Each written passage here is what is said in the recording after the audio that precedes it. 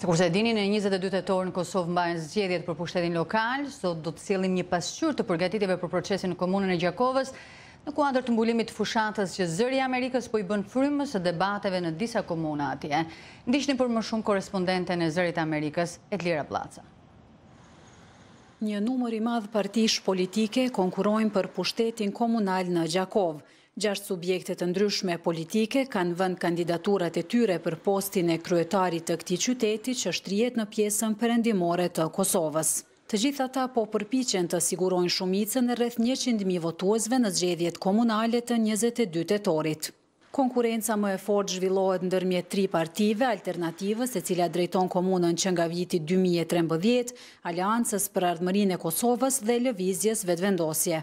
Kryetarja aktuale e Gjakovës, Mimoza Kusari Lila, kandidate e Alternativës, thotë se ajo ka sjellë një standard të ri të qeverisjes transparente në këtë komunë, por i duhet edhe një mandat tjetër për të finalizuar qëllimet e saj.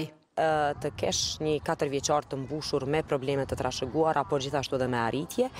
Nuk mjafton që të shohësh rezultatin e të gjitha këtyre arritjeve, prandaj kërkojmë edhe një katërvjeçar, në mënyrë që me sukses të finalizojmë projektet e filluara.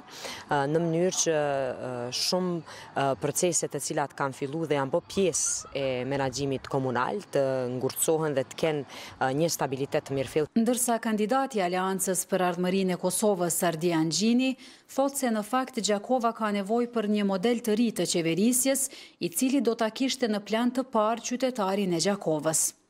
Aleanca është pregatit jashtëzakonisht shumë për m'iu ofru qytetarëve një qeverisje të re, një qeverisje që ka me qenë me ta gjatë gjithë kohës, me projekte të reja, me një model të ri qeverisës, që është një menaxhim i ri publik.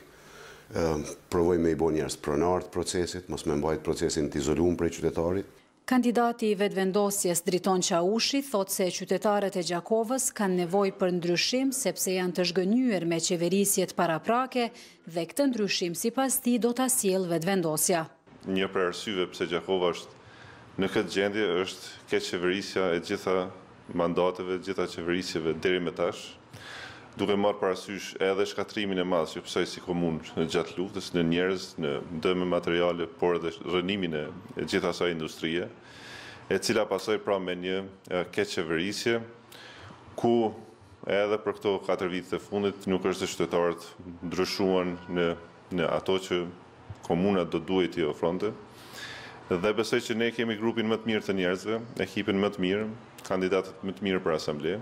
Por cilat janë zotimet e kandidatëve në këmbim të votës së qytetarëve të Gjakovës?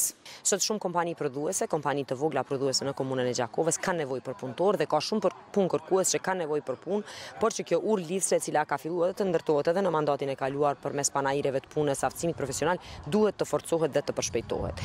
Një element tjetër është përmbyllja e projekteve të investimeve strategjike. Në Gjakovë fillon së shpejti ndërtimi i ngrohtores së re të qytetit, impiantit të ujërave të zeza, Finalizimi i projektit të ujit të pijes, donacion ky të cilin e kemi marrë nga qeveria zvicrane dhe përfshin gjysmën e fshatrave aktuale të komunës së Gjakovës. Gjithashtu promovimi më i madh i trashëgimisë kulturore dhe promovimi i Gjakovës si destinacion turistik në bashkëpunim gjithashtu edhe me Malësinë e Gjakovës. E para është se do të vazhdojmë me subvencionim të ndërmarrjeve që mund të jenë profitabile dhe të krijojnë vende të punës, nuk do ta ndërpresim subvencionimin. Po ashtu do ta krijojmë një këshill që ne e quajmë publiko-privat. Në këtë këshill do t'i ftojmë të gjitha ndërmarrjet e Gjakovës në takime të rregullta, të vazhdueshme, të shohim si mund ta ndihmojmë njëri-tjetrin, edhe edhe zyrtarët e komunës, po edhe bizneset mes veti. E treta është do të vazhdojmë shumë shpejt me zonën e re ekonomike, po e quajmë ashtu, një zonë industriale, ka dështuar nja tri herë deri më tani. Po e kem premtimin e qeverisë që do të ecim shpejt me këtë zonë. Edhe e fundit, kem fillu veç tash që t'i kontaktojmë bashkatdhetarët tanë jashtë edhe në Europë edhe në Shtetet e Bashkuara të Amerikës, ata që kanë potenciale investive mbi dhjetë milionë euro. Mendojmë se janë diku nja njëzet e shtatë, shumë prej tyre janë të gatshëm që të vijnë dhe të investojnë në Gjakovë. Thonë arsimi është një nga prioritetet tona, ku synojmë Pra me një program të faktuar dhe konkret të përmirësojmë këto kushte, me masa të ndryshme të nxisim rritjen e cilësisë, duke shtuar kabinetet në shkolla, duke shtuar këndet e leximit dhe bibliotekat, që është e realizueshme, duke siguruar një shujt për secilin nxënës prej klasës parë deri në të pestë. Pra disa masa të këtilla për ta përmirësuar këtë çështje. Shëndetësia është gjithashtu. duke pësuar nga keqqeverisja dhe këtu kemi paraparë disa ndërhyrje që janë të realizueshme e cilat do të rezultojnë me një shërbim më të mirë të shëndetit primar. Shërbimet tjera publike, siç janë hapësirat publike, parkingjet, mbeturinat, Janë edhe tre kandidatë partish politike që synojnë pushtetin në këtë komunë e cila pas zgjedhjeve të kaluara komunale ishte komuna e vetme e udhëhequr nga një grua në Kosovë.